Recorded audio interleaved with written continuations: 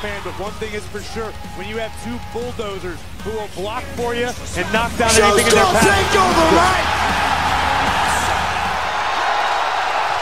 The funny thing is, this is where it all started, and I know, I know you are back there. You are watching this. You can see everything. So I am calling your ass out right now, Triple H. Come on, let's do this thing.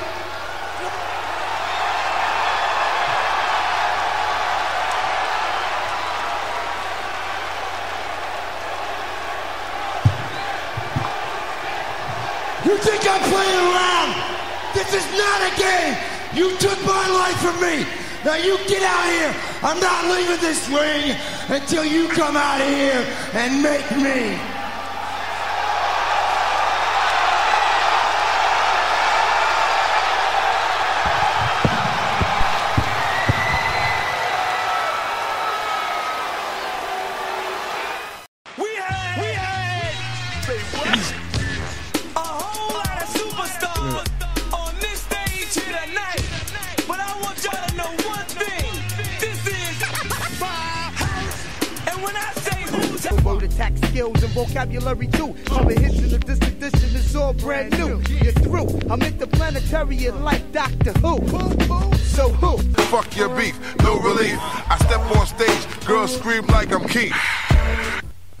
Everybody, welcome to the show. Ringtime Pro Wrestling is at it again. Keith and Keisha are in the building. Keisha, I would introduce you to the people. Hello, everybody, and welcome to Ringtime Pro Wrestling's Crown Jewel Duo of the Year. I mean, I'm just saying, we're just awesome. I mean, we are awesome. It's February, and I don't even care. I'm just saying. This is just how I'm going to bring it in tonight, because we're just greatness. Like, Keith, do you agree? I mean, I could just, just feel, I could just feel it. We are here. Uh, we are two weeks into the Trump presidency. Uh, we are still Oh, on the air. We have not been banned because I'm glad we ain't subject to FCC regulations because I can imagine some threats that would be coming. Um, I'm just saying. yeah, I mean, it's, it, it could go down. But other than that, we are here. We're ready to have some fun. It is the second day of February. It is Groundhog Day. It is also the second day of Black History Month. Um, That's right. during this show, we will talk about a little Black history as it relates to the world of professional wrestling, and also something that's being worked on for the Ringtime Pro Wrestling site. Uh, but we're here to talk about the big weekend last week, right? NXT Takeover, Royal Rumble, Keish. This company took about nine extra hours of wrestling, nine extra Right. hours of my life and I'm mm-hmm. not mad, but I'm Kinda, confused. A little bit. You know, and you know, I've tried to be better. Like I'm trying to like look. I will let the process play out, and that's something I need to just repeat in the mirror. I will let the process play out. I will let the Yeah, know process play out. But man, I mean, you see the Royal Rumble winner. I'm like, what am I supposed to do with that? Um, Right. I thought the Royal Rumble was excellent until we got to the Royal Rumble, right? And Right. then when we got to the Royal Rumble match, the first 20 guys that come into the ring, I'm like, man. Like, Jericho lasted, he's the first guy in the ring, and he lasts 60 minutes. Doesn't win. And we'll go into the actual Right. match. But, like, the first people after him, it's like, it's so uncompelling. Like, Braun comes in and wrecks shop, and then he's out. Corbin, I thought looked good, but after that, it's like, man, these dudes are so random. Oh, Exactly. I, I give Sami Zayn credit. Once again, a lot of these dudes very random throughout this match, right? Uh, then when you got to twenty up, that's when the names start coming. But when I'm doing the countdown, I'm like, well, they ain't gonna leave no room for nobody. That ain't gonna leave no room for nobody. There was no surprise entrances. Which, sorry, you can't do something over and over again and then us not get accustomed. We want our surprises. That's how we get our pops. Secondly, Right. let me tell you something. Vince is committed to this Roman Reigns. He says, "This I am sending you this Roman Reigns. You will like this Roman Reigns, and you will take this Roman Reigns." It, I, I feel like a little kid forced to eat my broccoli when it comes Yeah, to Roman Reigns. that's, That's pretty what- much how that feels. That that's what I feel like is going on here. But we're gonna go back to we're gonna take this thing all the way in reverse and bring it back up to today. And we're gonna talk about everything in between. So let's start with Takeover. If you heard the opening promo that kicked off this show, hey man, Takeover starts with a bang. And it is hard for Takeover not to steal the show every weekend. That they do Yeah, a dual show with the main roster. It's very hard. And they find a way to at least leave you wondering, are they going to be able to top that the next night? Right? Right. Um, and I mean, depend on how you grade this thing, you could say some, take over one. I'm not gonna say take over one, but I'm gonna s- take over had a good showing. Rollins coming out to kick off the show, calling out Triple H. Triple H coming out, sending down the goons. It was it was good entertainment. I was prepped. Now, of course, due to recent events, we don't know what's going to happen there. But how how did you like to open the show, Keish? You mean takeovers? Yeah, yeah, yeah. Like mean, as a total? Oh, I mean, just just a quick overview. We go we're gonna go match by match. We're gonna pick this thing apart like we Um, always do. Takeover was completely awesome. Uh, the uh, I was I was so mad with the women's fatal four way, and we'll I explain that when we go over it. Um, definitely happy with the beginning. Uh, I was way too excited about Seth Rollins um, interrupting the entire show. Of course, I thought everybody's in it. You know what makes Takeover? One thing that makes Takeover so awesome is the crowd. Like Takeover, like NXT fans are everything. You know what I'm saying? Like I, I don't know if people realize it or not, but if you watching, uh, when you're watching Takeover, like you're not just watching the wrestlers, like you're watching the crowd too, because their fans are greatness. You know what I'm saying? Yeah. So I definitely, I'm a fan of all of it, but yeah. And Takeover as a whole to me just got like an A plus as usual. Yeah. So I was way too excited to see all of it. Yeah, when you're dealing with an NXT crowd, this is what you'll remember. Most of those are diehards, right? Like the NXT crowd, I think you can more relate to us. Like they have a work, they're a very smart crowd. They have a good working knowledge of everybody, and it's not just WWE. Like so, they're gonna pop if a if a guy from TNA shows up, if a guy from ROH shows up, if some guy from New Japan shows up, they're gonna give that pop. They like, oh wow, I know something special's going on right now. You know what I'm saying? So that's happening. They're watching. They watch every week. You know what I mean? Like this is.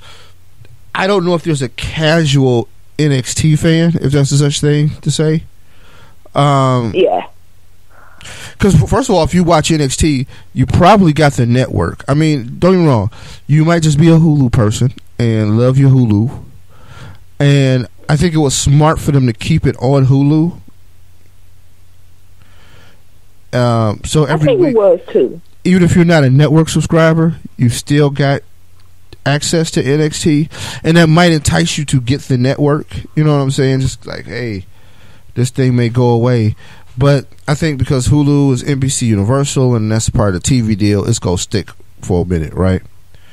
Um, and that's where it's all where it all started. So I don't think they want to turn turn that away anyway, because you got to remember NXT existed as FCW for years on Hulu, and then Right.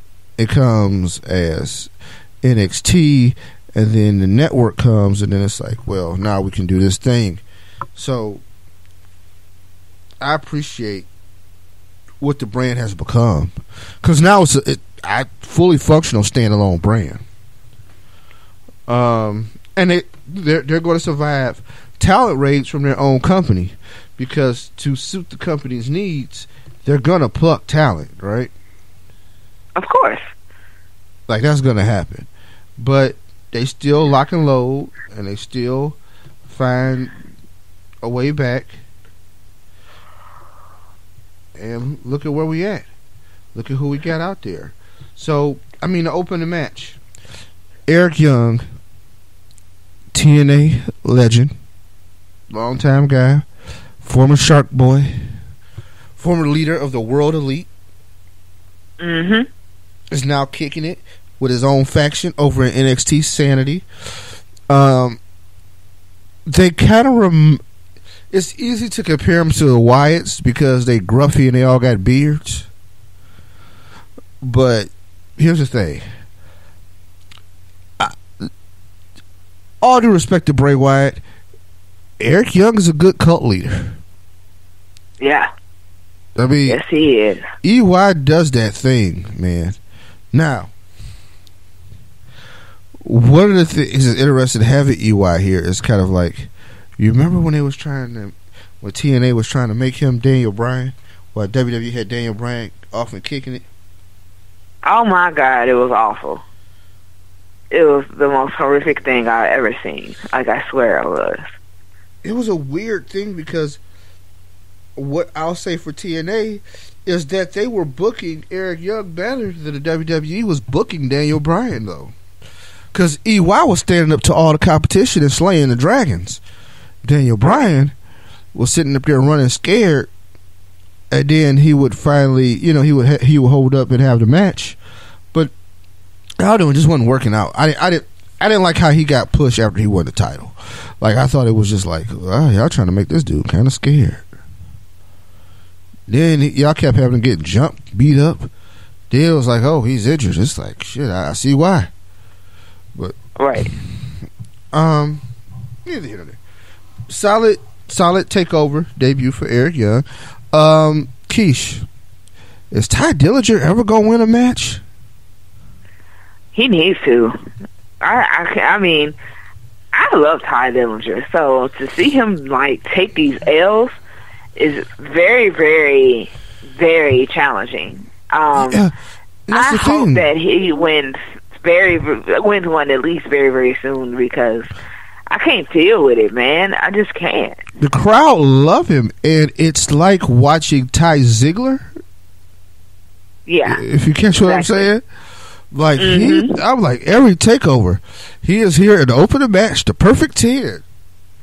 Everybody cheered, everybody up, and then he gets his ass whooped. And I'm like, wow. Didn't he lose the last takeover? The one before that? And the one before that? yeah. Like I don't have a win like in a recollection of the last like six of these. Oh, and despite what Road Dogg may say, wins and losses matter. Sorry. That shit Who, Didn't- when did he say that? he said that Did on he really say that? he said it on Twitter, right? Like a fan, he was responding to a fan, and he was trying to toe the company line and made himself look stupid. And Yeah. sometimes you gotta, you gotta just not engage, right? If Right. you are going to, I, like, I don't, I don't advocate saying stuff that's gonna make you lose your job, because I'm not about to do that either, right? right. So, hey man, don't go out there talking stupid. But don't sit there and make yourself look stupid. Trying to defend undefensible. This Twitter, man, you don't owe these people no response. You just sit back and be like, okay. That's it. Right. Don't do nothing. They used to not get responded back to. Now, of course, then they'll start calling your names and stuff. that's what people do on Twitter when you don't respond to them. That's what the Okay, block. right, because they're petty. That's what the block petty. button for. That's what petty people do. That's what the block button for. I don't call that petty. I call that childish. Now, as, as a petty expert and a person that has a degree in pettyology, That is not petty. That is just childish, and you throwing a temper tantrum. Petty is when somebody says that you don't know nothing about wrestling, and you tell them that look, I don't come to your job trying to kick dicks out your mouth. That's petty. Or I could have been your daddy, but I didn't have change for a dollar. That's petty. That's awful.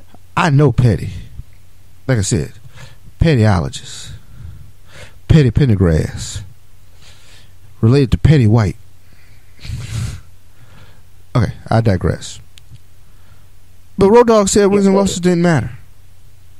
He said, because they asked him about some things on SmackDown and how people get buried and all that. He said, since it's scripted, that, you know, it's all fake and it's not real competition and da da da da. All right. Number one pet peeve of the WWF. First of all, they they pick and choose when they want to talk about this. Secondly, I I know it's not real, Keish. Right.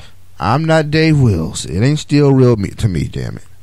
But it's fiction, and like all my fiction, I have the same standard for my fiction as I do all of it. Just because it ain't real don't mean you don't act like it. Exactly. And they stop acting like it. And that's why the shit has all the holes in the presentation that it has. Because they stop acting like it. First of all, him engaging somebody on Twitter, I get he's one of the lead writers on SmackDown. I'm not discrediting anything Road Dogg has to say about the business. He is an Armstrong, but guess what? As Jim Cornette said on his podcast, he didn't learn this shit from Bullet Bob talking like that. Because the ma- the wins and losses mattered to Bullet Bob. Mm-hmm. So, hey, don't be out here talking about the wins and losses don't really matter. Yeah, yeah, yeah, yeah, they matter. Because that's how we determine the perception of who is on top. Right. That's how you get to the belt. That's how we determine if somebody should be. If somebody lost 10 matches in a row and you book him in a title match, Keisha's not credible. Exactly. That's exactly how I feel. I mean, it it does it makes perfect sense to keep up with wins and losses Yeah. because even if you even if you're somebody that's giving wrestling a chance for the first time for like a good two to three weeks, maybe even a, I would say even a month, give it one month's time, thirty days, right? So you've been watching it for a month, and you've been keeping up with this person's track record, wins and losses. So then we get to a title match that they're booked in for like the end of the month, but you've been watching them since the beginning, and they haven't won a damn thing. And then all of a sudden, the first thing you're going to ask is, well, how the hell are you going to even win a title? How are they going to be in a title match and they haven't won anything for this entire month that I've been watching them? Yeah. If someone that doesn't even watch wrestling can keep up with something like that, then imagine the avid uh, wrestling fan. Imagine the, the normal, regular wrestling fan and how they feel when you set up someone like that. Wins and losses always count. And if you don't count wins and losses, then you won't be able to build a face or a heel character. You wouldn't be able to build uh, a personality off of a person because they won't have anything to really kind of uh, help propel their character in any way, shape, or form. I can't be out here, you know, talking about how I'm the best and I don't win a damn thing. It doesn't make sense. It doesn't make sense. Of course, everybody thinks they're the best, but when you prove it, it's a different story.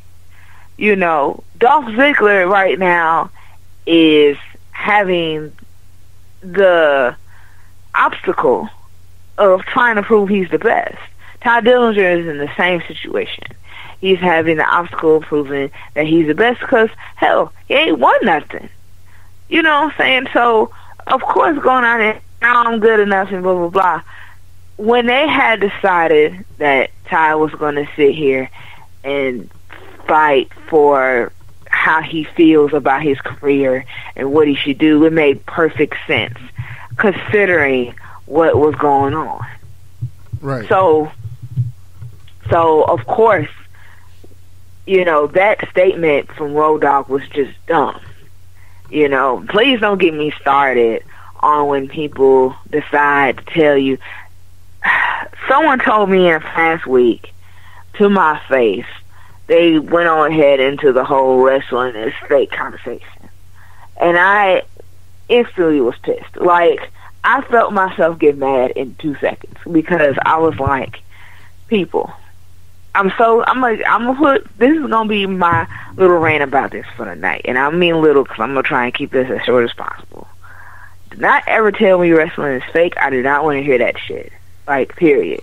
I don't want to hear the word fake being associated with wrestling, and this is why. Because I understand, just like you do, that what am I what I'm seeing has been already written out and predetermined and everything. Wrestling is scripted. I get that. Do not call it fake. You know what I'm saying? Your TV shows that you watch, they're scripted. This is acting. This is what these people do. I don't sit there and tell you why you shouldn't watch Law and Order SVU or How to Get Away with Murder or Grey's Anatomy or some BS like that. So don't tell me that I shouldn't watch wrestling because it's fake. This is be it is this and yes, they all go along the same damn lines.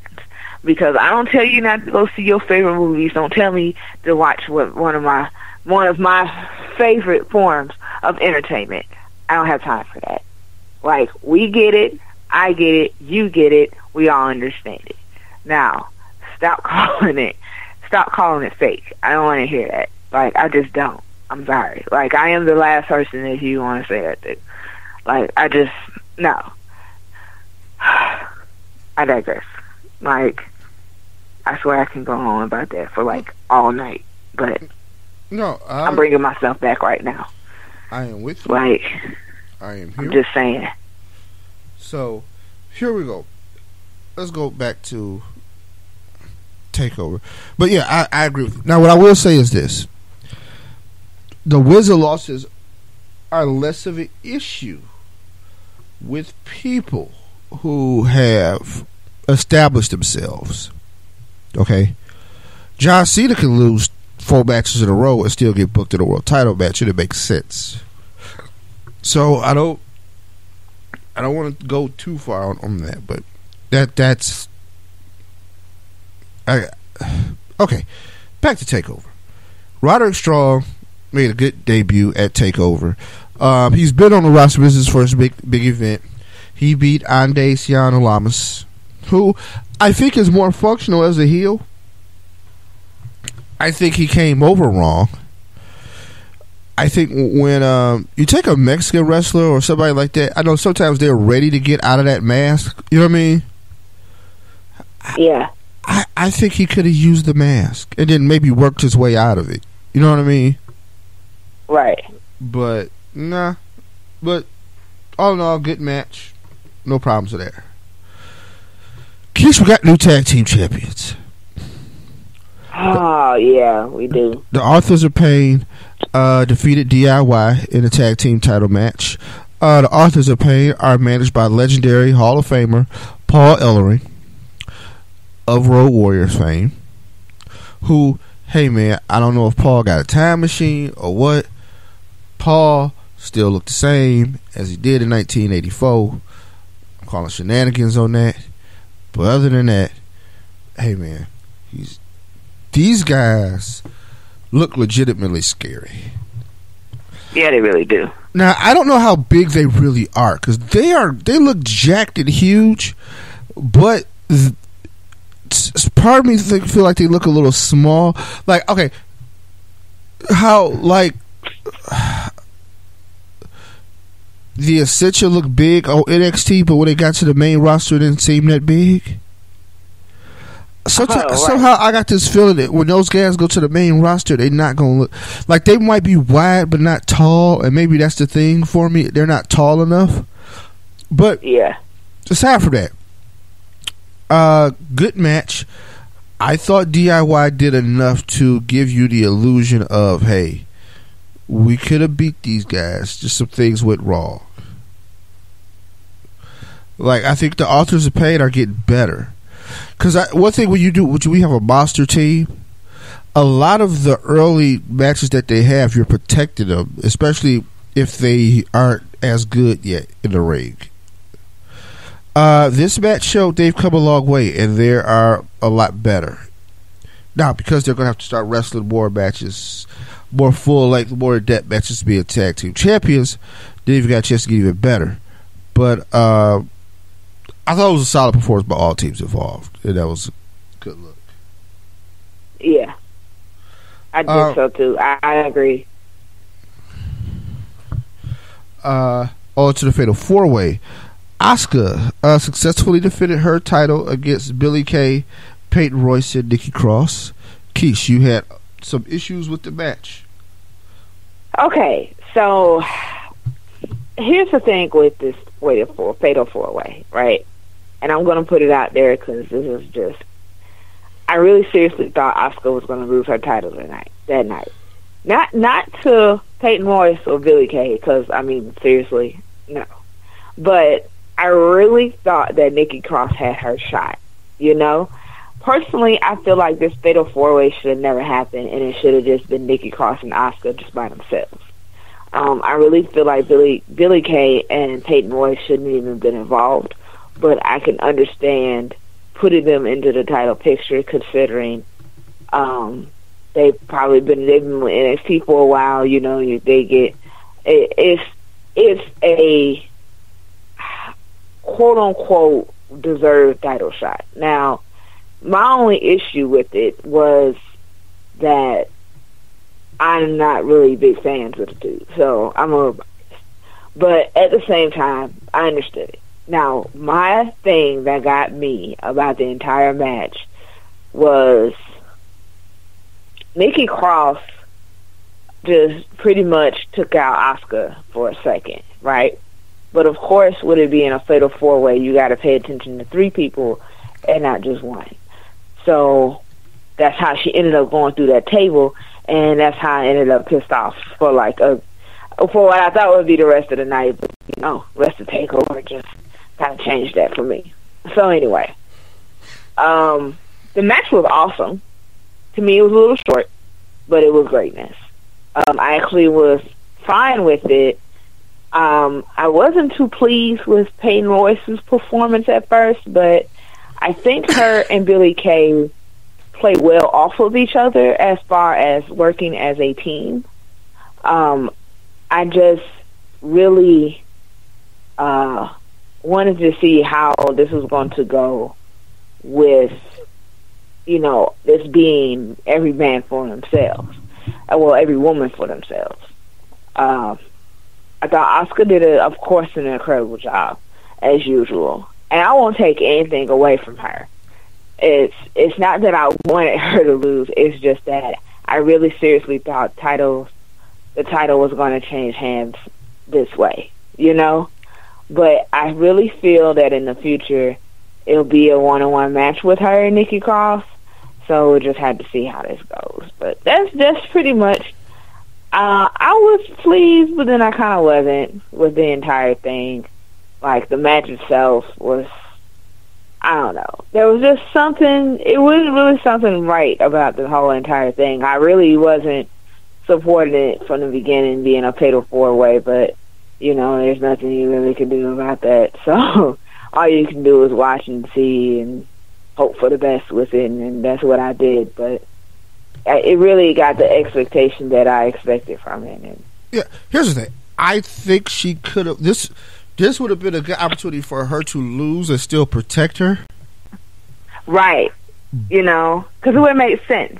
But It would have the- made sense. at the same time, uh, I mean, I, I I don't mind my star being dangerous, right? I don't mind Right. my superstar being um like yo, she's at a point now like she's in rarefied air.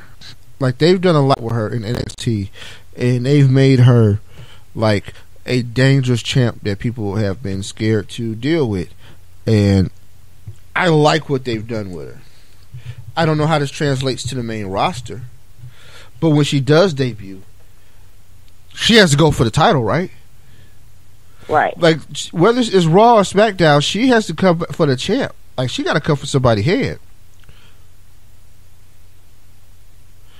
Cause I mean, it is what it is at this point, right? Like she can't just come on and then like have to work her way up or wrestle, you know.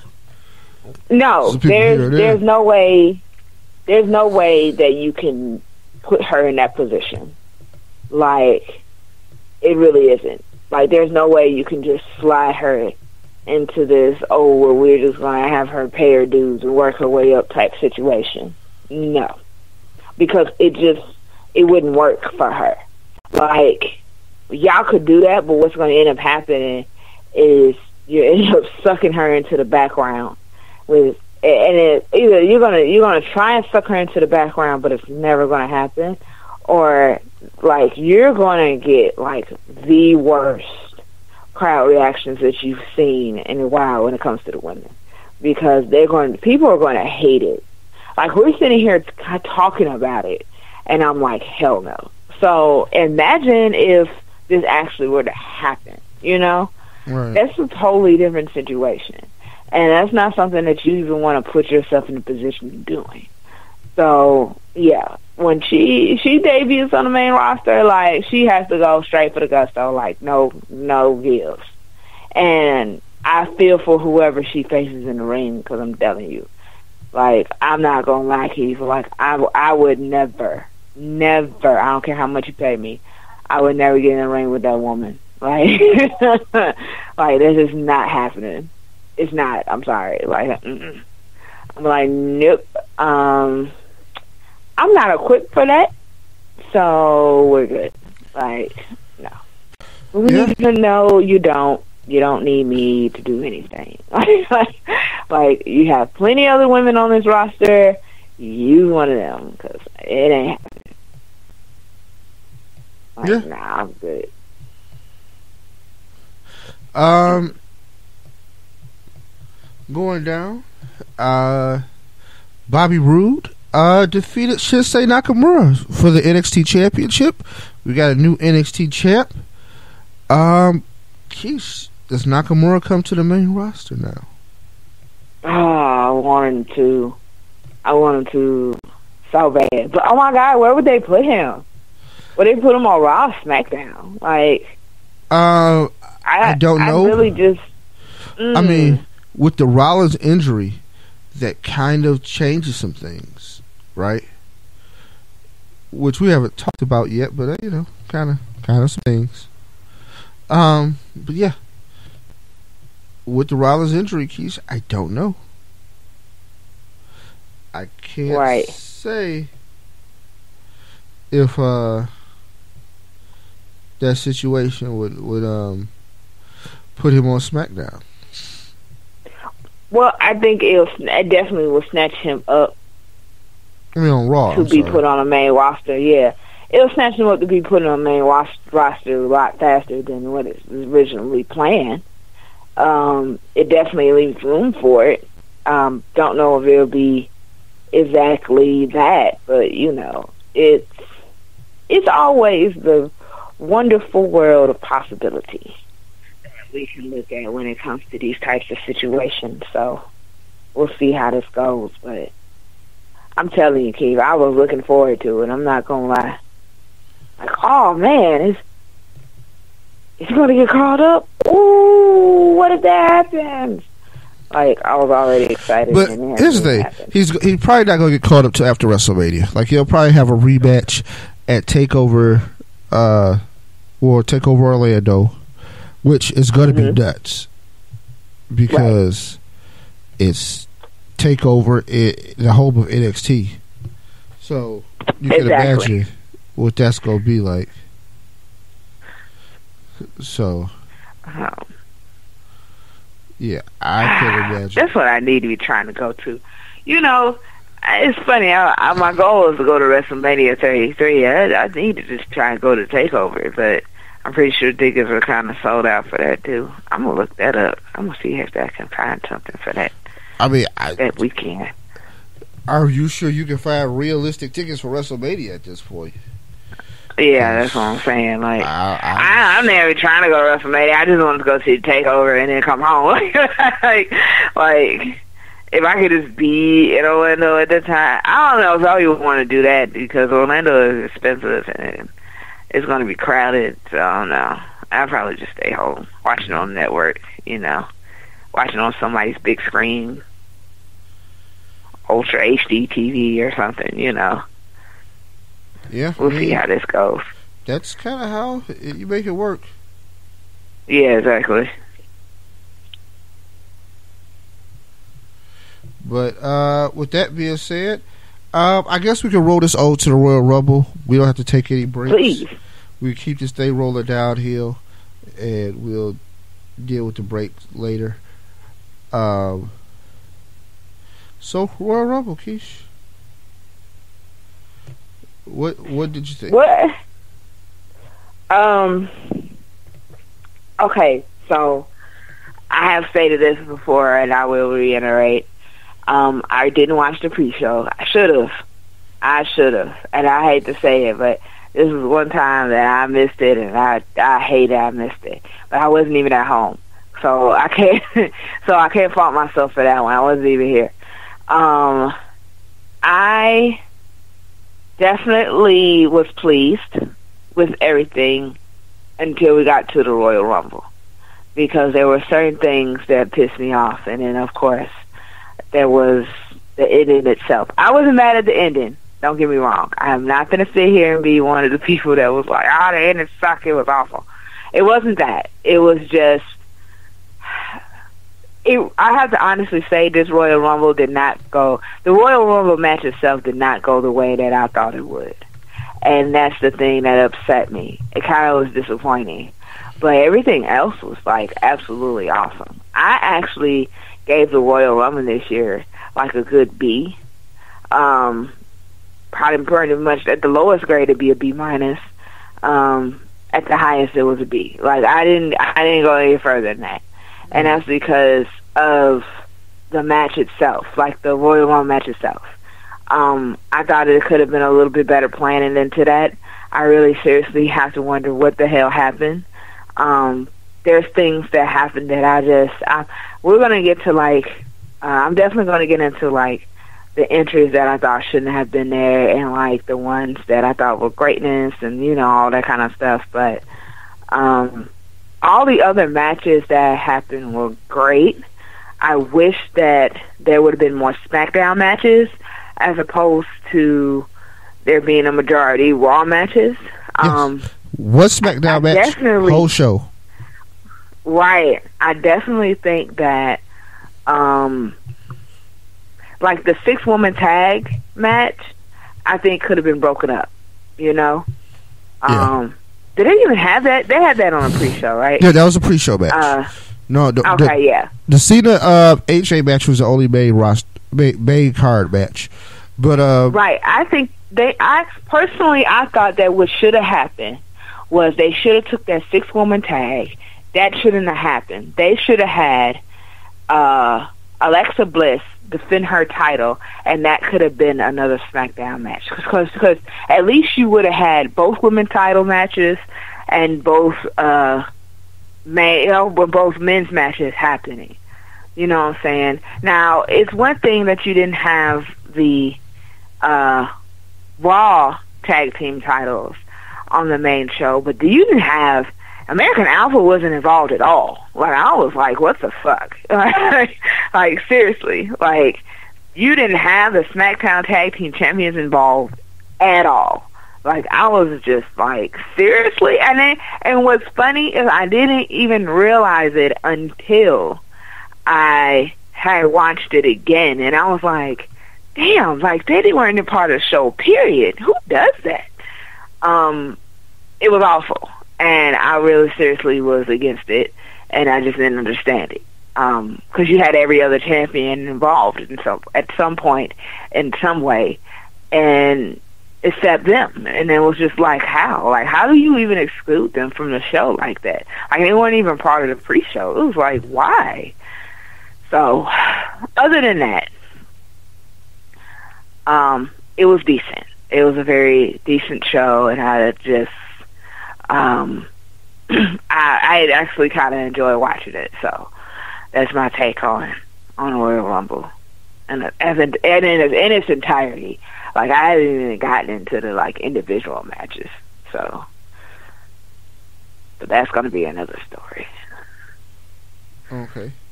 Well, let's go into it. Uh, Nia Jax defeated Sasha Banks in the pre-show, which, yeah, one of those things, man. Didn't even realize that that could have been a pre-show match. You know what I mean?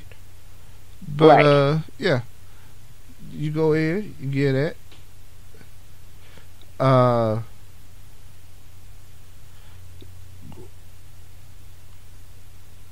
I'm sorry, I got held up for a minute. Uh, the club, Anderson and Gallows are our new tag team champions for Raw, defeating Sheamus and Cesaro uh, in the pre-show with the two refs. Uh, let's see, Right. and of course the SmackDown team. They won that six-woman tag, right? The uh, the, the baby faces, Naomi, Yes. uh, Naomi, Becky Nikki, Lynch. and Becky Lynch. Yes. Right. I almost forgot about them. Um, so Royal Rumble kicks off with Charlotte versus Bayley. Uh, I thought it was a very good match. I thought both ladies turned in amazing performances. Uh, Charlotte is a big match wrestler. Yeah. Is that safe to say? Like the way she turns it up on a pay per view, she gonna mess around and be a baby face. She is. And it's going to be one of those things where it's not like this total, like, distinctive turn. It's just going to happen. Like, she's literally just going to roll right into it. And everybody's going to be excited. Because regardless of if you agree with her or not, the fact of the matter is she's awesome. Like, I it's funny because there's times where I really just want to punch Charlotte in the throat when she talks, but like when it comes to her in the ring, like she's greatness, and there's no denying that. I'm not going to take. I'll never take that away from her because she she is one of the best women's wrestlers I have seen recently, and and that's been over time, and like that woman can work. now Bayley is greatness too, but Charlotte is like when it comes to these huge like main event style like um uh matches that she's been placed that she's placed in like there's no one that can compare you know her amp level is always on like 20 and and like things like that she does to me aren't even shocking or surprising. They're just like, yes, I kind of felt that coming. Like when she hit the natural selection on the apron, like that to me is classic Charlotte. That to me is what I'm used to seeing, expecting. Like if she didn't do things like that, it would be kind of, to me, the match would be lacking. Like seriously, that's seriously just how I feel. Like the match would seriously be lacking if she didn't do things like that. Um, so um, I'm not surprised at the win. I really didn't want it to happen because I definitely wanted Bayley see Bayley take that title from her. But at the same time, I'm really not really too disgusted with it. You know, it's not like I'm just so mad about it that it's like, oh my god, I can't stand it. I'm not watching no more. It's not that serious, but trust and believe, like there is going to become a time when she drops the belt again. We're just going to wait and see when that is. Yeah. and it, I don't know if it's going to be at a pay per view anytime. Well, see, here's the thing, too. If she drops the belt at a pay per view, it has to be huge. Right. You know what I mean? Has to be huge. This is what it was where, like, if Asuka took her on for the belt, you know what I mean? Right. then okay, yeah. Now, now we got it. Now we got something. But I, she can't lose to some poo butt, and I call it Bayley a poo butt. Or that, but I'm just saying, like, she just can't lose to something that, like, she got to make somebody. If not, hey man, keep having them winning at these pay per views. Have her drop the belt on Raw and then get it back at the pay per view, but have her keep winning at the pay per view. Uh, right. but that natural selection to win the match, ooh, Keish. Exactly. On the ring apron? What? Okay. Yeah. Um, yo, they got these title matches about to pay quick. Uh, Kevin Owens defended his world title against his universal title against Roman Reigns. Uh, Jericho was in the shark cage. He did drop down some brass knuckles as befitting would will believe. Uh, which, okay. I've always said John Cena could kick out of death. Right. Right. Will Roman Reigns survive the brass knuckle spot uh, from Owens and kicked out? Ooh, okay. But need, need not worry. Uh, Braun Strowman came down and cleaned up the match and beat the hell out of Roman, and Kevin Owens retained his title. It was a no DQ match. I'm not Uh, gonna lie to you. I was so mad. I was so mad. I was pissed. I was like, man, what the fuck? I was mad. I was. Well- I was mad. I was as as people like to say these days. I was big mad. Like I was huge. It You were was, It mad. was. Yeah. I a lot of people in that was crowd wasn't mad though. They was happy as hell. Like they was cheering. Ooh wee. Like y'all mean, man. I'm gonna tell y'all this. The WWE universe, y'all mean. That man Roman Reigns trash. Uh, now I I know I might have said some things earlier in the show, but I'm just saying the man trash. Y'all Right. are mean as shit. They was like, yep, Yeah, they don't give about. do. They don't care About about that. time. Fuck that. Yeah, exactly. Power slam. they don't give. He gets nothing. Like they don't. When I tell you he don't get any part of of anything if that has anything to do with his dude, like they're like no, like fuck Roman. Like we're good. Yeah, like like in the words of my dad, fuck him. You got any friends? Fuck them too. Like they, that, that's how they treat Roman Reigns. exactly. They're like Roman. Ugh. Yeah. Bye. Like Like, damn, we don't want to see that shit. Like mm mm. Y'all act like he hit y'all girl or something. Shit. Right. Exactly. Hell, not even like in the past, like currently. Y'all just hate that man. But neither here nor there. He lost. Uh, like I said, Braun came through. Uh, and you know what? I'm starting to like Braun. I, I didn't know what the future was going to be for Braun, but I, I think he's turned into a versatile kind of character. Big man, dangerous, but versatile. And he's getting better in the ring. I like the fact that he doesn't say much. Like, not because he can't talk or anything, but just because of the simple fact that all he has to do is say a few words and then he's done. You know? Like, he don't have to give a whole speech and paragraph and song and dance and all of that, and his character still evolves and seems strong and dominant and powerful. Not just because of his size and who he can throw around and who he can beat up, but because of the simple fact that a look in his face can tell you like I will kick your ass. You know, um, it it's definitely a lot to take in when you're dealing with someone like Braun because him saying too much or the wrong thing can definitely change an entire situation. And for uh for somebody of his stature. No, um, Um here's the so thing. yeah, I love the fact that he doesn't have to do all of that just for him to be who he is. No, um, I don't. The way I work it with him is this: I don't think I don't know how good of a promo he is or not good at being a promo. But to your point, he doesn't have to be. And the way they're selling him now, they don't put him in a spot where we even have to. Like he doesn't. That's not what we're buying from him. So I think it's a good job for them doing what they do. Um, Neville defeats Rich Swann for the cruiserweight championship. Uh, so we had a new cruiserweight champion. John Cena defeats AJ Styles to become the 16-time world champ. Um, Keish, I'm gonna book this as my match of the night.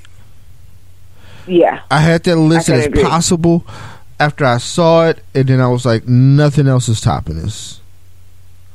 So, yeah, match of the night. Um, very, very solid, very talented. Um, both guys gave it all, Keish. I mean, whoo. I didn't think AJ was gonna lose. I didn't either. I, I did didn't not either. think he was gonna lose. I I, was either. watching it. I'm like, "Uh, all right. And then he kicked out of the AA from the second rope, and I was like, well, damn, if he kicked out of that, that's it. Right. He is in there, right? Exactly. But But I thought I thought after the second Styles clash, like that was it.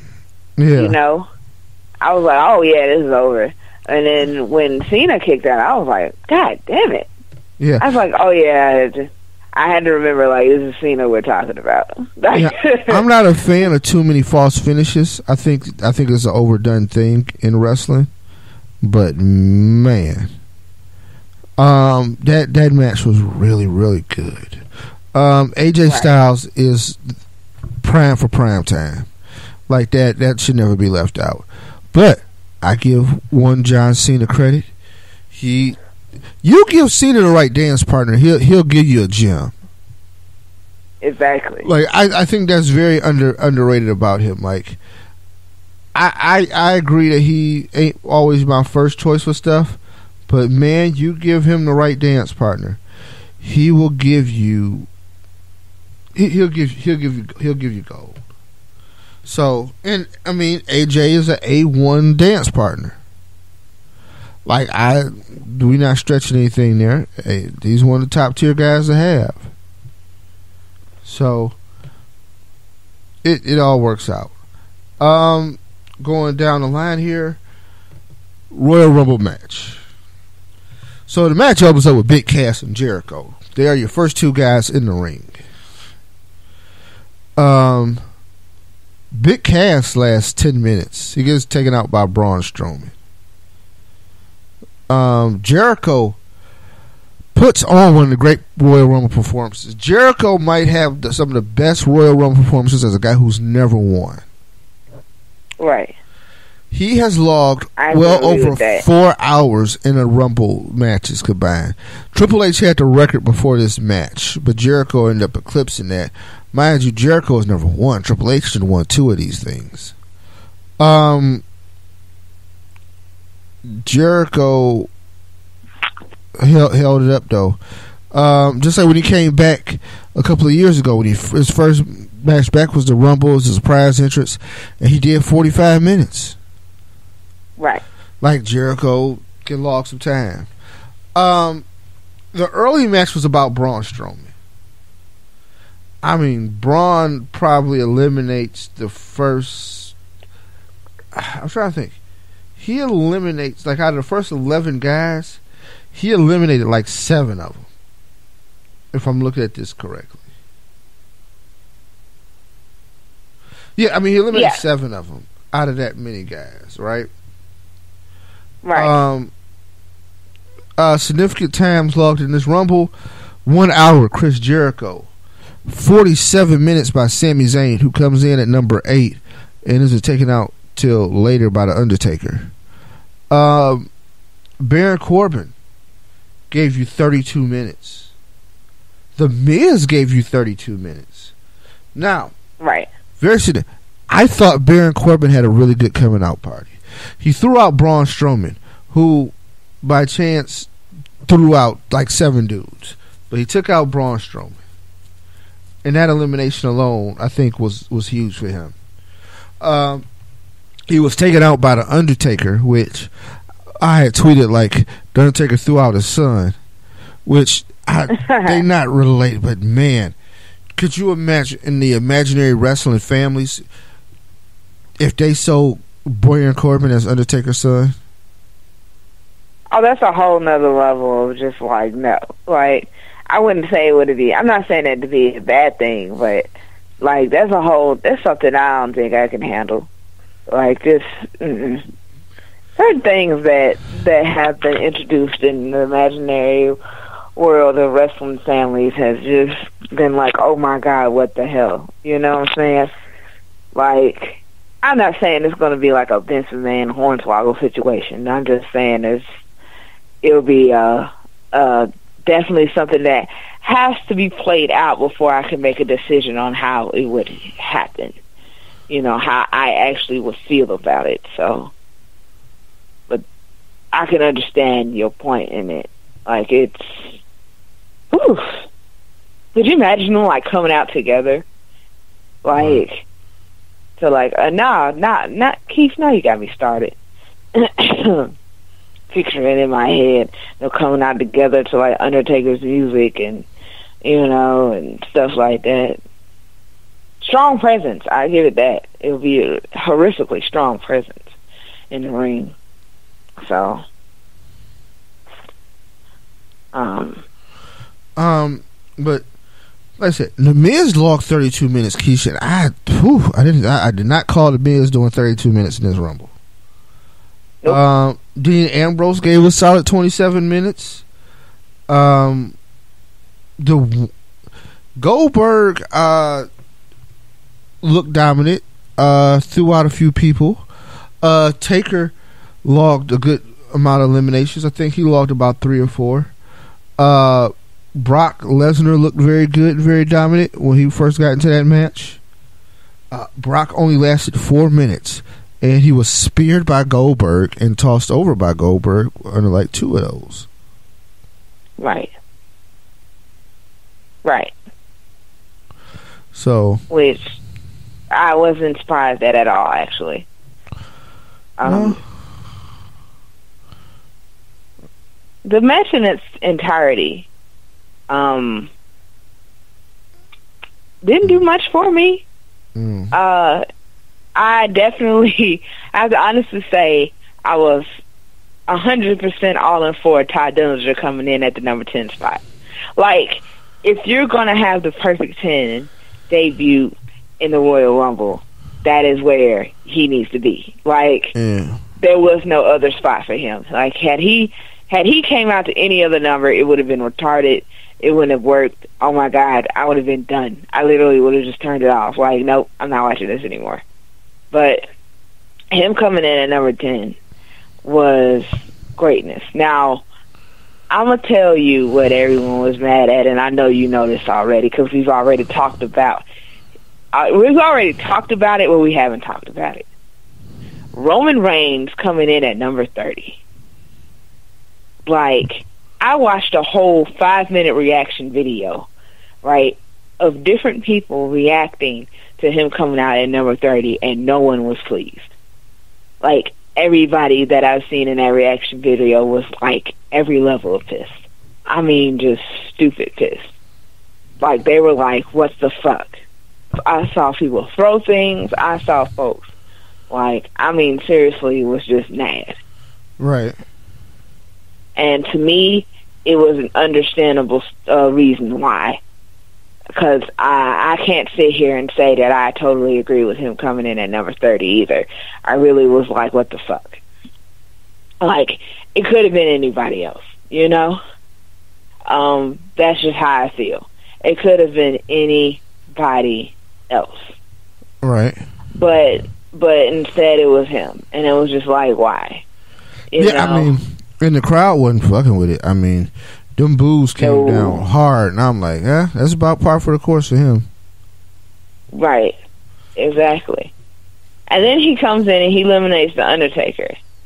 And then they have this stare down. What was that all about? Like, Well, I think you have to. Um, I think they have to set the table.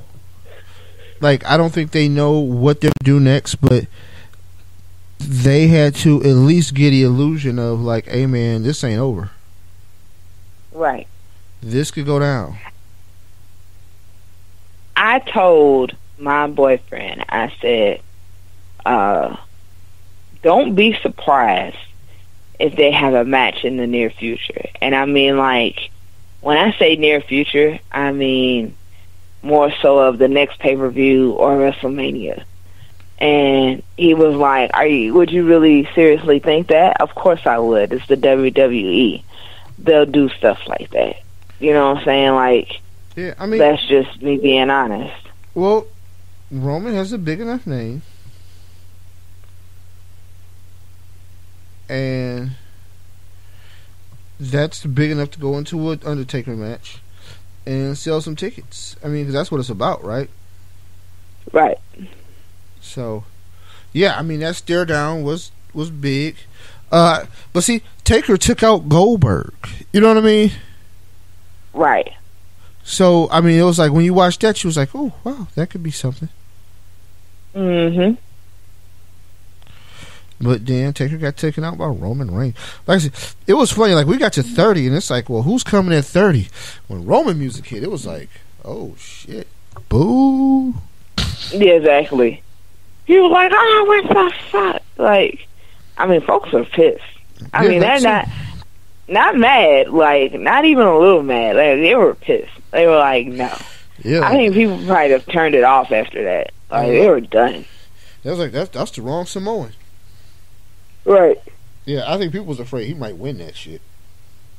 Oh, they were. They were Keith. Especially when they got down to the bottom three. Yeah, and especially when they got to the last three, and it was just him, Bray Wyatt, and Randy Orton. Right. I'm not gonna lie, Keith. I was like, "Oh my God, please do not let Roman win this thing." And the only reason why was because I knew that this wasn't gonna go anywhere near level of where it should, and I was just kind of like, "Please don't tell me you did all this big name adding and all of that just so you could have Roman Reigns win the Royal Rumble. Like, why? You know, what was the point? What was the point in the build up and uh and skipping surprise entries, which was another thing that pissed me off. Um and not having to me what what I consider to be a traditional Royal Rumble just for Roman Reigns to win. Now, I'm not going to lie to you because I mean, I said this in, in last week's show, but I didn't know who was going to win. I was completely unsure about who this was going to go to. But when Randy Orton won, it was like, shit. you know what I'm saying? Because when I tell you that went all the way left, and that was something I was not expecting. Yeah, I mean, you got to ask, like, okay, so what's next? Like, who, what do they do with Randy? Um, Right. and him and John Cena, because I mean, I don't know if anybody's on, on board for that. I mean, hell, there was a match back in the day, and they they said they wasn't supposed to wrestle no more. Right. They had the final battle, Exactly. so uh, I don't know. Right. We'll have to see though. We'll definitely have to see because this could this could go either way. This could go. This again could go completely left. We don't know. We don't know, but I guess time will tell what happens with Randy and what happens with this entire situation in general. Um, I just think it's very interesting. So, with that being said and done, we are going to take our break. We are going to be back, and on the other side, we are going to talk SmackDown. We'll talk news. We'll talk Raw, and that'll be it. So, um, thank y'all that stuck through our pre our recap, and we'll be back on the other side. Um, Keish, you got anything for the people, or you just? Uh, we'll see you after the break. I mean, we'll we'll be here and uh, of course we're coming back. So please do not stop listening because that's definitely what's going to happen. Right. It's all about my husband. And second, speaking of my husband, well, Triple H isn't here tonight. Oh, color me surprised, Steph. Well, if Triple H isn't here tonight, then I gotta be honest, I really don't care about you.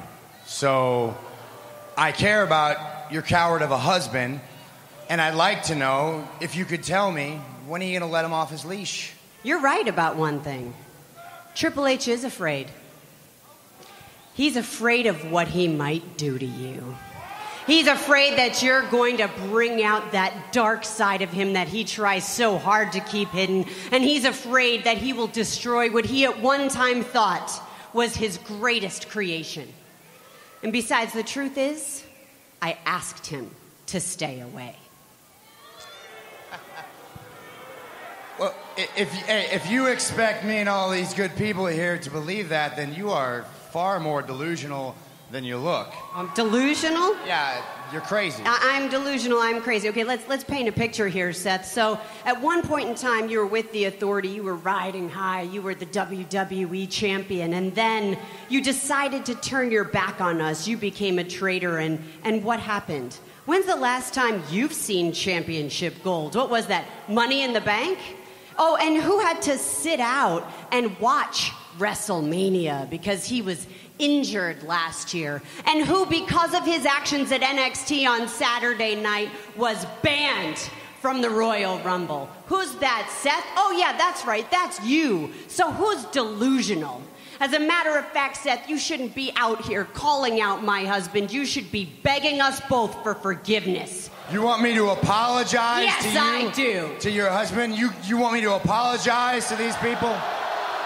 You know what? As a matter of fact, they don't deserve an apology. But I do. She is the boss, so Steph, look. I'm sorry. I'm sorry that over the last two months I've exposed your husband for the gutless snake that he really is. I called him out. What did he do? He had his security do his dirty work. And who is that? Who is that guy that stood out there in that suit? That that is not Triple H. That is not the game. That is not the cerebral assassin. That's a scared dude, is what that is. And if you think going to NXT was bad for business, what happens when I show up at WWE headquarters, huh? What happens when I invade the next board of directors meeting? How the suit and ties in New York gonna like that? How's your father gonna feel about that? Man, that Stephanie McMahon Seth Rollins conversation was deep. It was. It was Um, extra deep. Hey man, it got personal. I thought Rollins may went a little far. Thought about, look, man, I'm knocking on your door, and your kid's gonna answer. I'm like, oh shit. No, I thought it was greatness. That was Hey. perfect. Say to me, ain't gonna be wrestling. Will be, you're gonna be wrestling a pistol. you stupid. And not even wrestling a pistol. It's the bullet that's gonna come out of it that you're gonna be wrestling. But hey, man, ain't here for the shenanigans. right. Exactly. Um, before we get into wrestling birthdays, hey, the celebrity clapback game is real. Right. Don't come for these celebrities on this social media. They will get at you. Oh no, they'll cut your throat. Like immediately. And won't think twice about it. They was trying to be nice before this Trump shit. They ain't having no, they no more. really not. You They're see what that. a dude came for J.K. Rowling talking about he gonna burn the movies and the books, and she said, "Look, bruh, I already got money for those. You already paid for them. I'm good." She said also the right. the fumes from the DVDs are, are toxic, so uh, you can borrow my lighter. I said, "Damn, did she just tell me to kill herself?" Mm-hmm. Then Wesley Snipes said something, and one dude told him to pay his taxes. Wesley told him he can get these hands tax free. I seen that. I actually read that to mom. She started laughing. She was dying. Like I was sitting here like, dude. But you know what? Uh, they let you know. They let you know, man. Y'all not finna be one around here talking about me, talking to me any kind of way. Right. I'm the hell y'all thought. Just 'cause I got money don't mean I won't bust your ass, got Right. Like, and if I don't bust your ass with these hands, I definitely gonna do it with these words. Y'all better leave me the fuck alone. I'm with it. Hell, I am all up in four of these plans.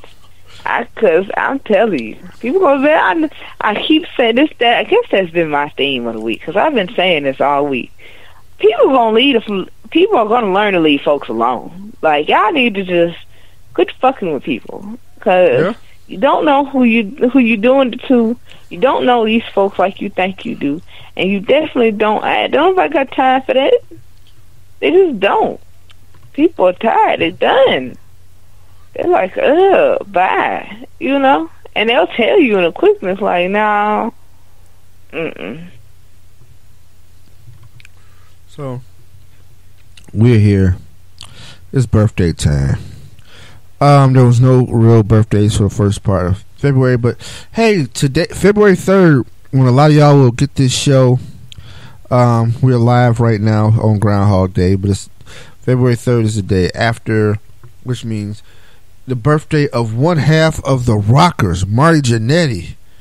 Marty turns fifty seven. Uh, the late great Kerry Von Erich, the Texas Tornado, would have been 57 tomorrow on February 3rd.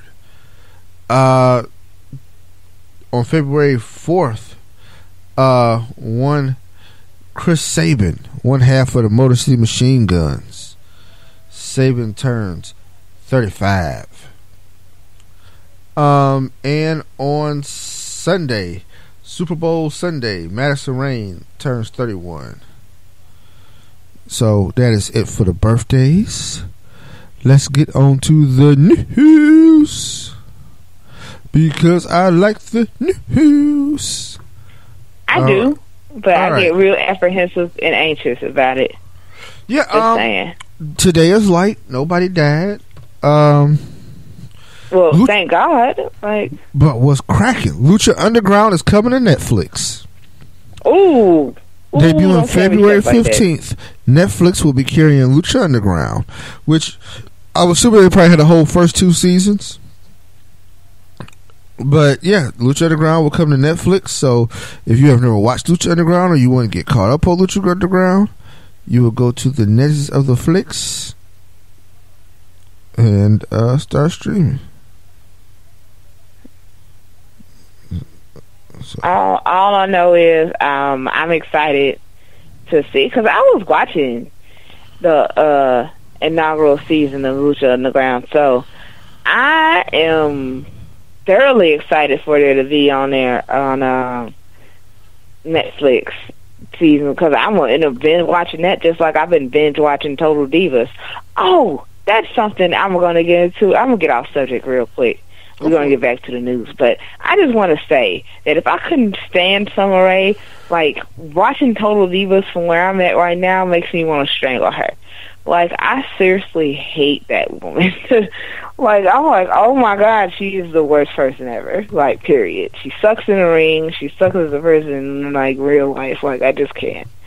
I can't deal with her. Like I'm just like, oh my god, like you make me every level sick. But other than that, I think it's a good show. I mean, it's definitely a, a great show to watch. Right. So, but that's just me right now. Um, I'm a. We're gonna go. Go. Go ahead, Keith. Go, you can get back to this. Um, the WWE hosts an emergency WrestleMania meeting uh, to discuss what to do if Seth Rollins cannot go against Triple H. Uh, you know, the original pro- program was to have Samoa Joe to make debut on SmackDown with John Cena, but they changed their mind. Uh, but Joe could still go over to SmackDown and work a program Right. with Cena. Um, they don't really know yet. And uh, or they could keep Joe Raw, build him up to a WrestleMania match with Triple H, but I don't think they're gonna do that. Mm-mm. So, like I said, it's all it's all crazy. But yeah, they're they're the burst there. Um, on the Seth Rollins injury update, he is injured, but they think it may just be a torn MCL and not an ACL. And if it's just an MCL, there's a very vague possibility he could be back in eight weeks. That that's really cutting it close to WrestleMania. Right. You know be Assuming that like four weeks now, you get to March, and then March, and then April. Like there's a maybe in the closet have bed else. I don't know. Mm-mm. I don't either, but I know that, um, I just, I don't know. I don't even know what to really say. Like, it's, Yeah. Um, Kevin Owens is going to wrestle Brock Lesnar at a WWE live event in Madison Square Garden. Yeah. mm like, I don't know. It's announced for WWE Live at Madison Square Garden. Now, I don't know if this is going to air on the WWE Network or not, but it's slated for March 13th. Um, the card has Lesnar and Owens for the Universal title. Um, Cena versus Bray Wyatt for the WWE Championship. Randy Orton will take on Luke Harper. Dean Ambrose will defend the IC title. Uh, so you got an interesting mix going on there, right? Solid card. Yeah, you you use the right word for that. You definitely use the right word for that. I'm telling you. Um, so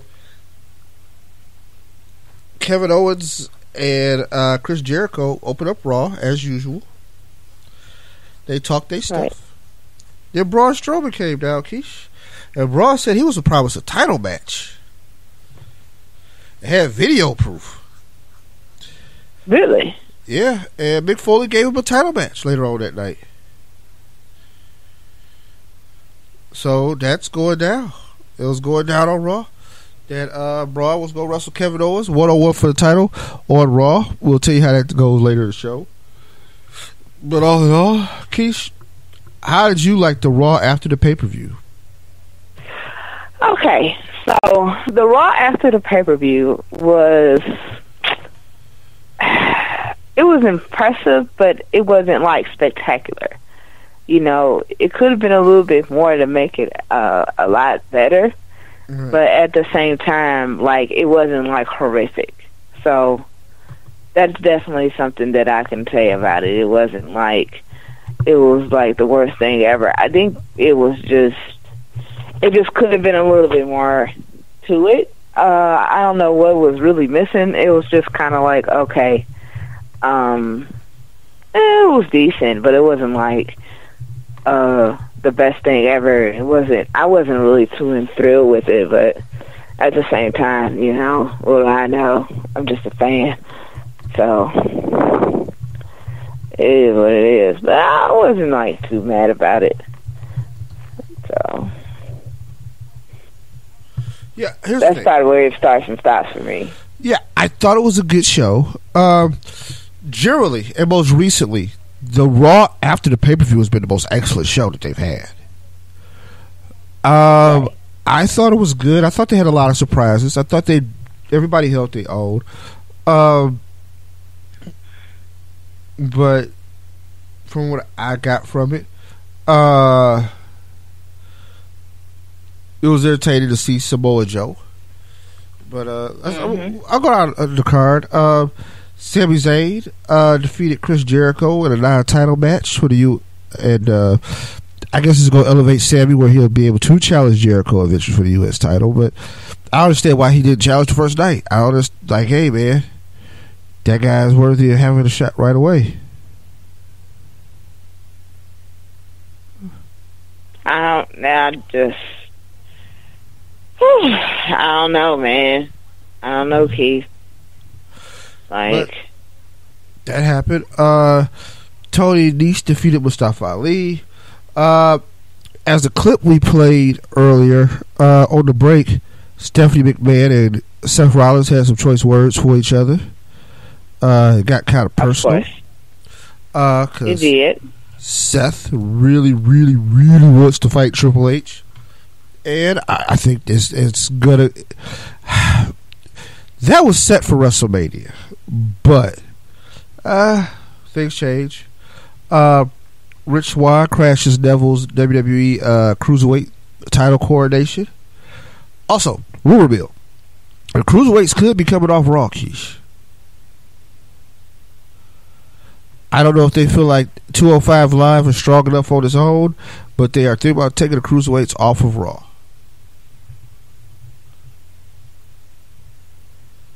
Uh, I'm I, not- I don't know how to really even respond to that, to tell the truth. Uh, I don't, because, I mean, why would you change it? You know, other than putting them on SmackDown so they're closer to 205 Live, I don't see the point. well, see, I thought when they decided to do 205 Live that they were they were gonna go to SmackDown. That's why they had that stipulation in the pay per view because um, you would want to um, make that work, right? Right. because just logistically, hey, those guys should be. I mean, because they got to go to SmackDown anyway, right? Right. And the show Exactly. comes on right after SmackDown. It is it's at the SmackDown venue, so why not just have it on have them on SmackDown? And it's just kind of like mixing them into the show. Yeah, that's something that I never really could fully comprehend once they created 205 Live. It was like, okay, so what are you exactly going to do with the cruiserweights? Because they have they now they're on two separate shows. They come on two separate nights. It just doesn't make sense. It just because of the simple fact that that their their main show comes on after SmackDown does. So it's like, okay, well, then just have them on SmackDown. Hell, that way you wouldn't have to worry Right. placement and thoughts and feelings and shit. Like it just be, you know, it'll it'll roll out the way that it's supposed to. I don't know. I guess that's that's just wishful thinking, isn't it? um, at this point, we'll see how that goes. I don't know. I don't even know how to feel about that right now. It's just kind of like, will people just seriously listen to others? Uh, okay. Um. So, uh, Bayley and Cesaro and Sheamus defeat Charlotte in the club in a mixed tag match. No, I already covered that. Uh, Braun Strowman defeats Kevin Owens via disqualification in their Universal Title match as Roman Reigns shows up and wrecks shop, Yeah, that's right. which he should have. Yeah, that is right. I Mhm. don't blame him. Is but I'll say this: they were having a pretty good match before that interruption. They really were. And Kevin It Owens was pretty like he was trying to find his way. Like he got the big man off his feet. He was gonna go for that splash. Like he he, he was he was figuring it out. To me, he wasn't too far off, and it showed his strength as a champion. Right. Um, cause I mean, when you got to face a dude that just that just slammed your your best friend through a table, like through an announce table at that, like you gotta have some level of of strength to get through all of that. So, I mean, yeah, I thought Kevin Owens was doing an excellent job against Braun Strowman. I thought that the match was flowing perfectly. The, the way that it should before the, interrupt, the uh, interference, but you know, I we knew it was coming. Like we we both can't sit here and act like we didn't see that coming. We saw that coming. No. That's why it wasn't a shock or surprise. It was just more so of, oh really? Oh okay. So, but we'll see. I mean, who knows? Yep. So that happened. Um, Nia Jax defeated Sasha Banks uh, via match stoppage. Basically, she beat the hell out of her. Um, Enzo and Big Cass defeat Rusev and Jinder Mahal in a tornado tag match.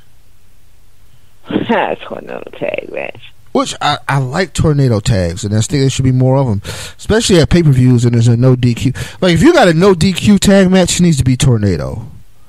Like Right. why waste time having people go and try to tag in and out like they're not gonna freaking do it? There's no DQ. And Right. There's no DQ. Why are you trying to create a, enforce a rule structure? Exactly. Like you can't. There's no way. And what what the what the ref gonna do? Disqualify you? There is none. Like like what's the point? What is the point? What Right. really is the point? So I never understood that either, Keith. I seriously haven't. I never got that. Right. But Um, whatever. Samoa Joe uh, attacks uh, Seth Rollins came down to the ring, thought he was about to fight Triple H. Triple H is in the ring. Triple H talking that. And out of nowhere, Samoa Joe comes, Keish. And Right. that beat though Seth Rollins. Right. Uh, right. yeah.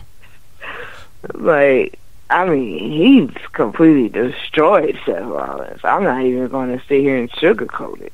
Right. Like that was brutal, man. Like I was like, yeah, like like it's part of you really is torn because part of you wants to be like, no, don't do stuff like that. That's horrible. But then the other, the majority of it is more like, yeah, kick his ass, yeah, go Joe. Like I don't know. It's it's mixed feelings, but at the same Yeah. time, it's a good mix of mix of mix. If I smashed Like, a chick and got caught, my girl said "Go Joe," oh my god, I don't know how funny that would be. You But- stupid key. I'm not dealing with you. I'm really not. Like, you're retarded. you are retarded. Like, I can't deal. I think I think it's past your bedtime, Keith. Just go just go to bed. Like Right. Thank you, ladies and gentlemen. We will we'll see you next week. Good night. Like I just I'm not even gonna I'm not dealing with you. I swear I'm not. Hey man, I, I'm here. I'm functional. Of course you are. You are. For now. Like for right now. Um, I'm done with you for the night, but you know, I know everybody else ain't, so All right. we'll continue this. Okay. One thing I want to say just before we, we shut this thing down, and we'll go a brief overview of SmackDown, but um,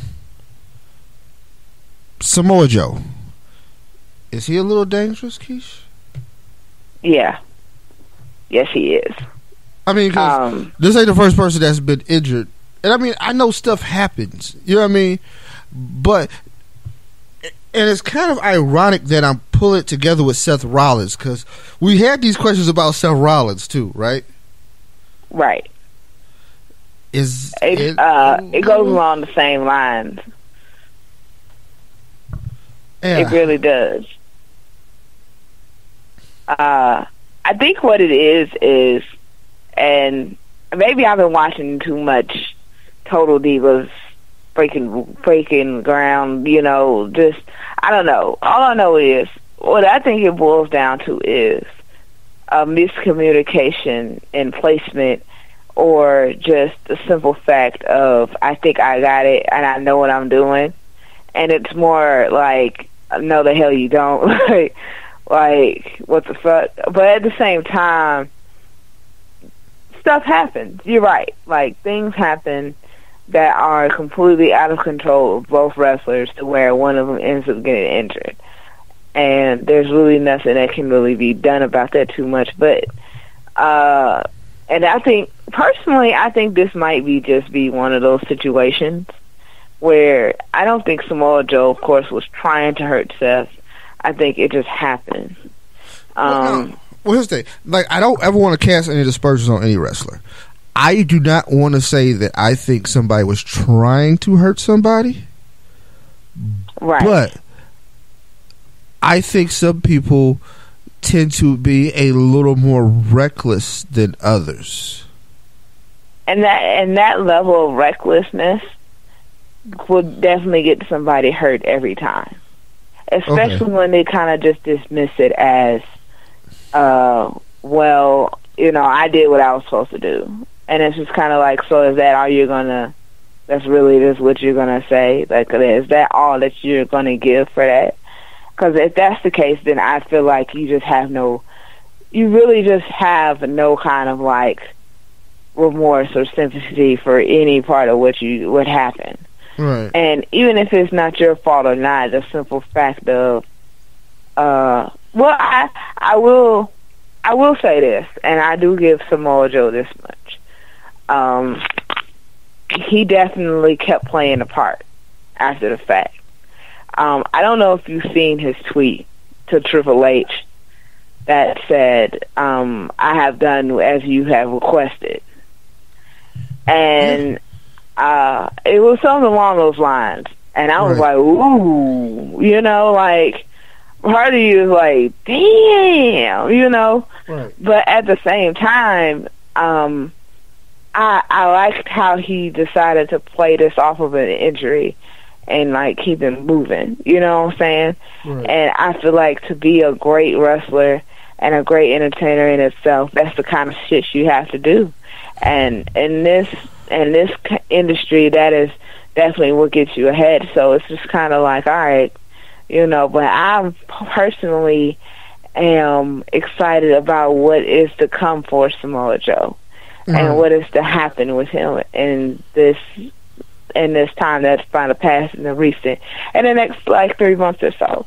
Um, it's definitely going to be something worth seeing, and I don't know what's going to happen from here on out, especially with Seth's injury. But it's definitely going to be um, an interesting development, Yeah.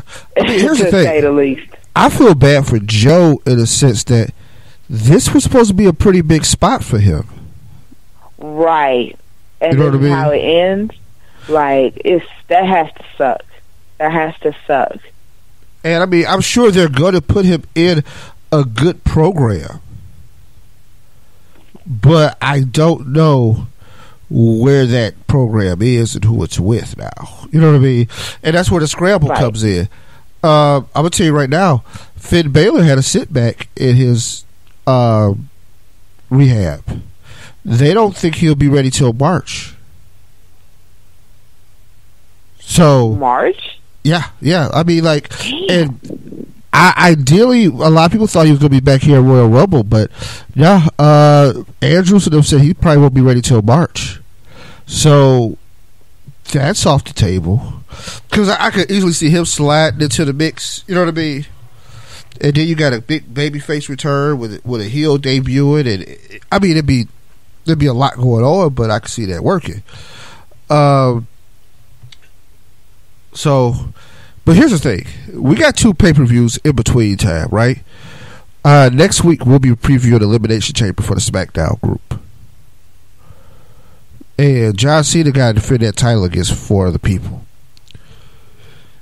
We got Fastlane coming up for Raw, probably a couple of weeks Right. after that. So Uh-huh. that's enough time for storylines to move and change and for these belts to move around. And really, so it's kind of funny. WrestleMania used to be pretty much set after Royal Rumble, and then you just had to pick and choose how the feuds were going to lay out after that. But a lot can happen in the next month that can change how this is going to look.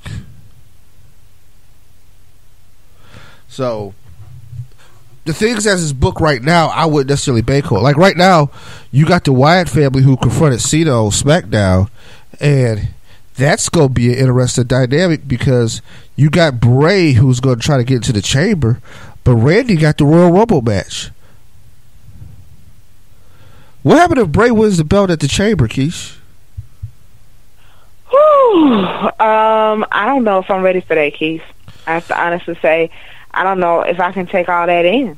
I mean, I really just seriously I, I for one don't was know how to really digest that. Yeah, you I was one that was very critical of Randy Orton, the Wyatt family, but if this if that's the end game, boom. You know what I mean? Because here's the thing: with all of this, to me, it's worth it if you could elevate Bray Wyatt to the next level, right?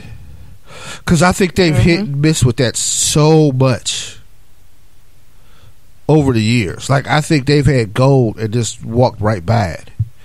Uh, I like the Luke Harper element of it. Uh, when he showed up in the ring when they was about to bum rush him and he was on Cena's side, I was like, huh, oh, oh wow, that's different.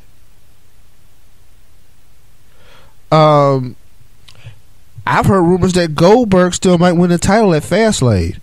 So I don't know about that. I don't know about that. I don't know about that. I heard rumors. I didn't say it was happening. I heard rumors, which that would give us. I mean, Brock and Goldberg. That part three. That's probably going to happen at WrestleMania. Could be for the Universal title. Um. So a lot, a lot's going on, Keish. Um, you I, you got to get AJ Styles back in the mix. Like as much as him beat Dean Ambrose or the Miz or try to get that uh, IC title, I got to keep him in that world title mo- motion. Like that was I don't dude- know. That's the 2016 MVP. I can't I can't shit on him. like Right. that. Right? Exactly. Um I really don't know how to to tell the truth, I don't know how to play all this stuff out.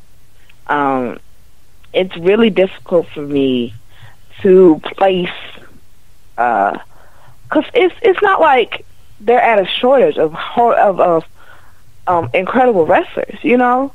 So it's hard for me to place people in different places, but they got the right idea, Keith. I mean, I give them that.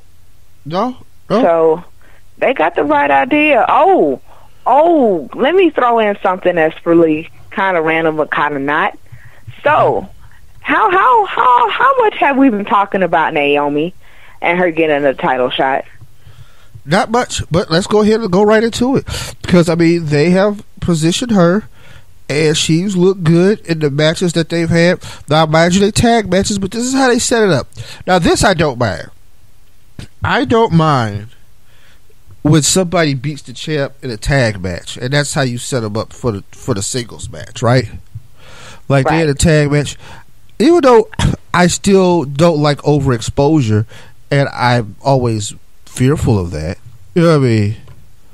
But I don't mind if you use a tag match to where somebody beats the champ, and it's like, oh, I didn't know you could beat the champ. Oh man, y'all end up in another Right. tag match with the champ, and you pin the champ again. You know what I'm saying? Exactly. All right. Well, you know what? Maybe you should try and get this person. You know what I mean? In a one on one. Um, thanks to watching Talking Smack, and I got to make sure we watch this again to understand what I heard. But she will have her chance against Alexa Bliss, Right. and I personally am excited about this. Now, what I predict might happen, and I'll hate it if it does, is that of course Alexa Bliss retains the title and they don't give Naomi the belt, which I would seriously hate because I'm like, don't build her up just to put her down. Like I hate that. I can't stand that. And to me, Naomi deserves it. Like she does. They Naomi works her ass off. She was on her way more than a few times, and then the rug Right. kind of got pulled. But Exactly. I, I, So I, am aligned with what you, you said in the beginning. I think they're gonna play her. Like this is what's Right. nice, but now it's gonna be like, hey, and I hate that. You know, I hate to even have that conversation because I hate the even the thought of it. You know, like, but I just have that feeling. I have that feeling that they gonna curve. You know, they gonna curve and they gonna like they gonna swerve to the left on it. It's gonna be like, man, are you for real? You know, I I seriously just I don't even want to see it happen, but I seriously, I seriously would love to see her with that title around her waist. Like, for real, for real. So, I guess we'll just have to wait and see what happens with her and, uh, you know, when that comes. But, oh man, I hate I would hate it if they did that to her. Like, I seriously would. Um, but I'm I'm pleased with. Actually, you know what? I have to say, SmackDown Live as a whole, like I am very pleased. I'm very pleased. Um, they got some good stuff going on over there. You know, like Yeah. I have to say, I don't, I, I haven't been disappointed in like the past good few weeks or so. Um, there have been things that have made me like, are you serious? But other than that, like, um, I like, I love, I still, and I'm gonna keep repeating this. I still love the direction they're taking with Dolph Ziggler, and I like the fact that we're seeing Apollo Crews face more. I mean, even if he's not wrestling, um, I, I do love the fact that he's being utilized more, even if it's for brief spots here and there. Like I, I'm, Yeah, here's the thing. I'm I- seeing improvement. Yeah, I've heard people say that they felt like Apollo Crews was a victim of the brand extension because they needed to have talent, but they didn't. He got lost in the shuffle, and I don't know if he's a victim of the brand extension because honestly, I felt like he was getting a little lost out of NXT. Yeah, yeah, that's true. Um, I don't, I don't think it has anything to do with the brand extension. I think it's just him. Like, I'm not saying he's a horrible wrestler or anything because I think he's incredible in the ring, but. Well, you know how I there's wrestlers that just have that thing that's just missing. Right. Like that's Apollo Crews to me. Like it's something that's just missing. You know, like I don't know what it is and why it's not all the way there, but it's just not. Well, here's the thing. I think he's talented. I think he has a move set that's kind of weird because his body type doesn't match his move set per se. Uh, I think creative isn't that great with figuring out what to do with him. You know what I mean? Yeah. And until they can figure that out, they just he just kind of get lost in the shuffle.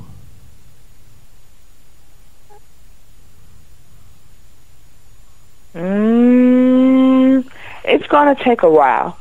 Well, no, I can't say that because I thought that when he was in NXT and when he got bumped up, I was like, okay, well, maybe he'll show some promise and it'll change. Everything will change for him, but it really hasn't. It really hasn't.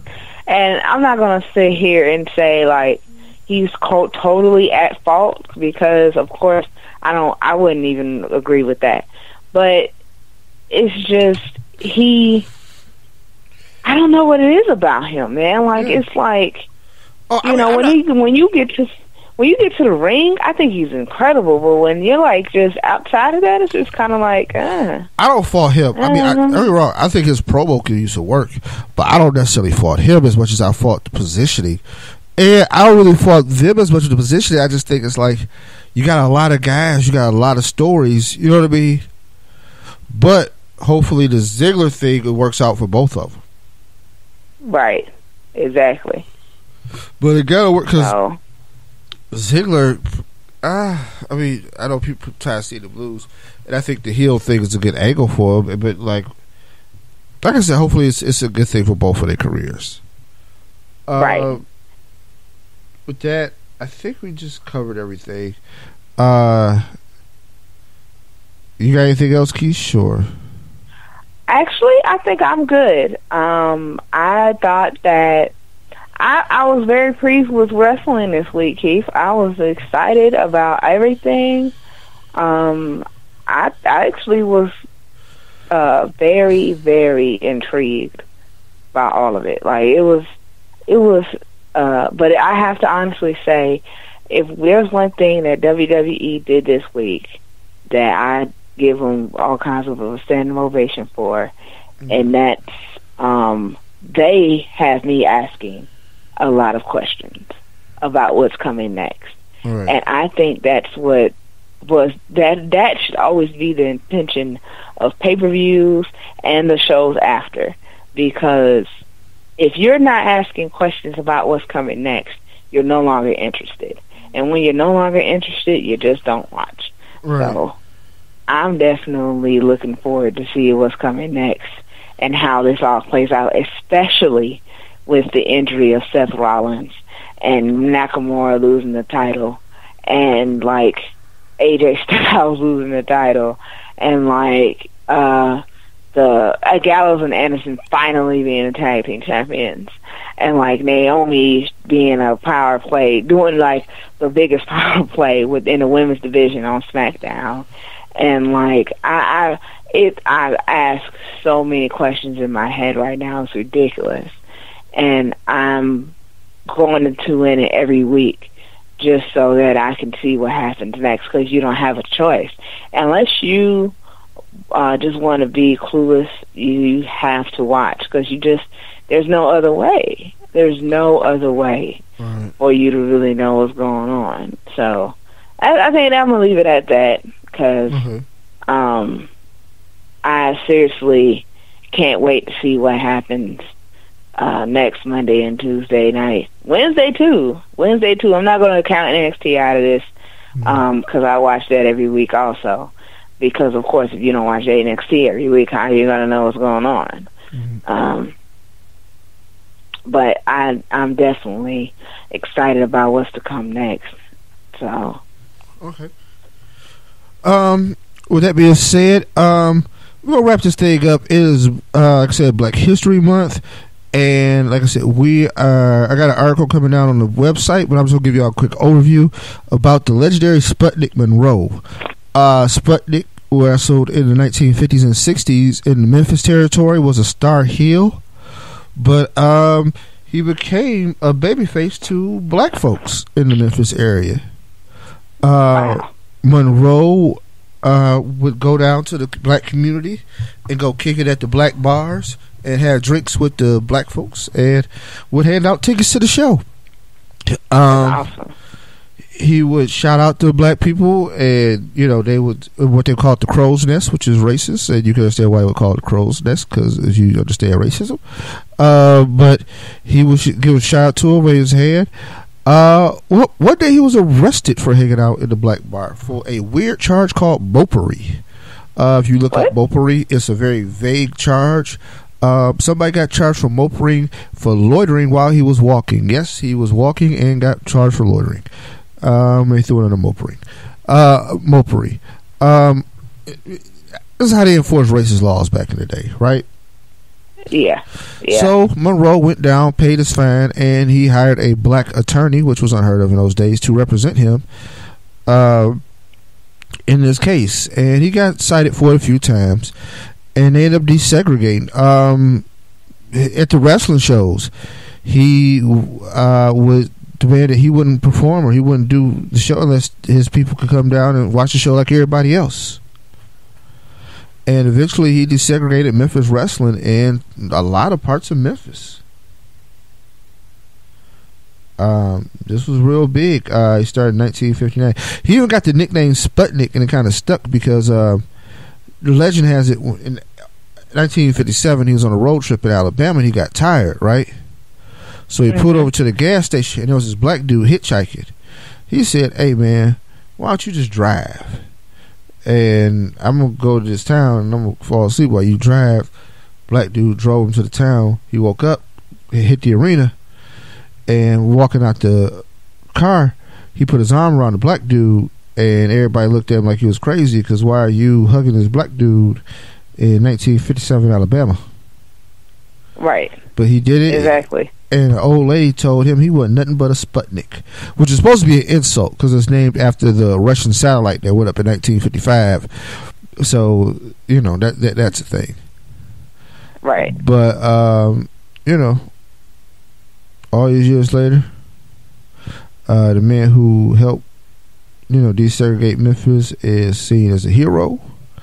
Everybody thinks he's a hero now. Now, imagine. Remember, I said he was a heel. Yeah. Uh, fighting segregation uh, made him a babyface with black people. A lot of white people in Memphis made him a bigger heel. Hated him even more. right. They couldn't stand his ass. Yeah, so that's I where. can see that. Yeah, that's how stuff happens. So I just want to let you know, Keith, your parents over here talking. I don't know what they're talking about. Okay. They Well- are way wide awake right now. I need them to go to bed. Yeah. I need them to go to bed. Yeah, like, all right, I'm done talking. Everybody stop talking. We all go. to Yeah. Yeah. Which I'm gonna let everybody go to bed. Uh, Keish, I appreciate you. You have been an integral part, kept this thing rolling, and I got you going to bed before one o'clock in the morning. So Uh, Keith, uh, I love this. I love doing this every week. Trust and believe. Uh, tonight, I, you know, I think I found my niche on how to how to keep it together. So I think we're gonna be, we're gonna be all right, Keith. I think we're gonna be all right. well, starting So, starting on time helps a lot. Um, of course. I'll, I'll do better. Uh, but yo, we appreciate it. Y'all come back next week. We will preview Elimination Chamber, and with that, we are out. Peace. Bye. Yes.